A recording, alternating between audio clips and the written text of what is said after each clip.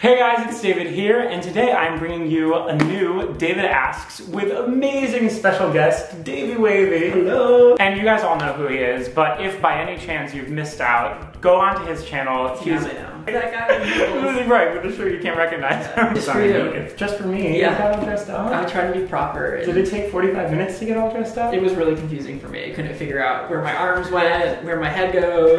the best part is that I just made a blatant Beyonce reference and it just went whoosh. Oh yeah, I don't. I don't listen to music. Anyway, okay, so we're gonna hop right into questions. The way this works is uh, this is a book of random questions. I read them off, and David will answer them. I'll get to know him better. You'll get to know him better. He will get to know himself better. Wow. It's Okay. pretty. This is self-indulgent. Right. I mean, hey, it's all about you. Your first question is What's the best thing about your life right now? This sounds like I'm like pandering, but I think the best thing about my life is that I'm on YouTube and that I have the ability to impact a large number of people. Right, and in addition to that, in a way that hasn't existed before this medium. Like, Yeah. It's a whole new audience of people to affect. And, and I think like like I'm I've been doing this long enough that like and, and I'm old enough that I lived in a world where there wasn't YouTube Mm-hmm. and that I could say something and that no one cared. And now I have like I'm really grateful that when I do make a video or when I do tweet something or something on Instagram, like that people see it and interact with it and that's really fun. And also that if someone recognizes you from YouTube, there's a 99% chance they'll sleep with you. What was the last item you purchased? Oh, it's probably bad because it just it was just Pride. Did they know that? We just had Pride here in Los Angeles. Yeah, my first LA Pride. It was pretty crazy. So it was probably like a.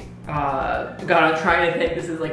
Oh my God! No, you know what it was? What? It was hair dye because I bleached my hair and it came out really bad. So then I had to buy. This isn't my real color. Oh my God. I had to buy dark brown to bleach I didn't back. even notice. Wait, do you have any pictures from it? Can I Uh, please see the off the record, I will show you the pictures. Okay. What's the weirdest thing you heard or saw recently? Well, seeing as it was Pride, at the parade, I got I got attacked by a swarm of, of, of gay Mormons. That was a pretty unique situation. Wow. Did you see the Mormon contingent? No. They were very excitable. I just imagine the cast of Book of Mormon approaching you Pretty and much doing a musical yeah. number. yeah, they were all hugging. I mean, they were very friendly people. okay, well then that's amazing. Yeah. Right? Yeah, hashtag blessed. What is your worst nervous habit? I like bite at and like pick on. Here's the Oh, gross I- part. Like not just my nails though, but the skin around R- them. Right, like the like hang. They're not hang nails, but like they're like waiting to become. It's filthy. No, I do that too, and I've been trying to like my New Year's resolution. You're a monster. Yeah, right. We both are. the line on your shirt agrees. I was once on a date with a boy and I didn't realize I was doing it. We were driving somewhere and he like looked over as I was like pulling this like massive like piece of like skin off my, of my.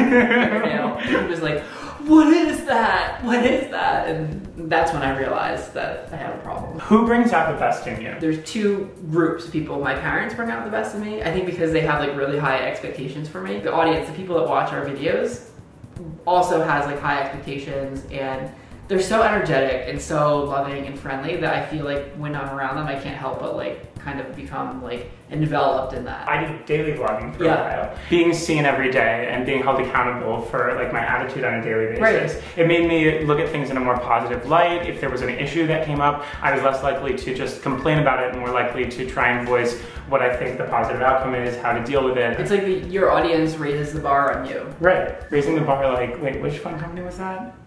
So is this sing- AT&T raising This the was bar? before my time. Cingular? Cingular? It's before my time, honey. Okay, well that's all for questions, but thank you so much, Davey, Yeah. for participating. I hope that you had some fun. You got to know yourself a little bit better. I did, yes. Right? And I'm sure that y'all enjoyed getting to know him better. I know that I did. And if you want to see more of me and Davey, you can definitely hop on over to his channel and check that out. And while you're over there, make sure you subscribe to him if you're not already. And other than that, I thank you guys so much for watching, and I will see you very soon. Bye!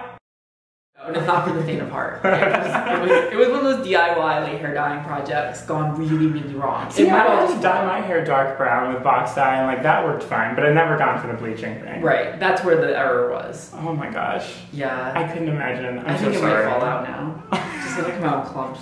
Please don't. It'll be fine. We're praying for you.